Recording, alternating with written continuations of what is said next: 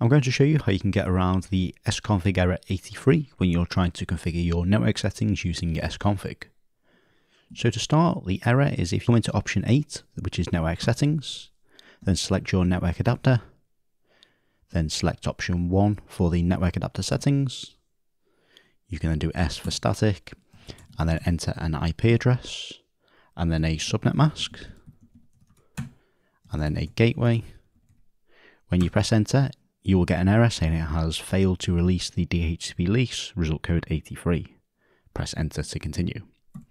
So to bypass this, if you exit the to the command line, and then you can run the following PowerShell commands. I will list all these commands in the description so you can just copy and paste them. So the first one is get netadapter.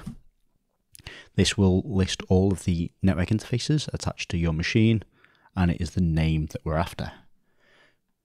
So the next command is the remove dash net IP address against the name of the network card we want to remove the IP address from. And then we can run it. That will just clear any potential configuration. Then we can run a new dash net IP address against that same interface, specifying the IP address we want to give it, the subnet mask prefix, as well as the default gateway address.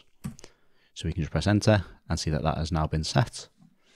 And then the last part is to just set the DNS settings, which we can do with the set DNS client server address against that same interface name. And then the two DNS servers we want to give it. And then we just press enter. Now, if we run an IP config, it will confirm that it has got the IP address.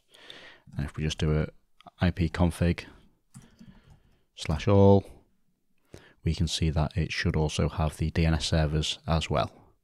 So that is how to get around the sconfig error when using the network settings feature within sconfig.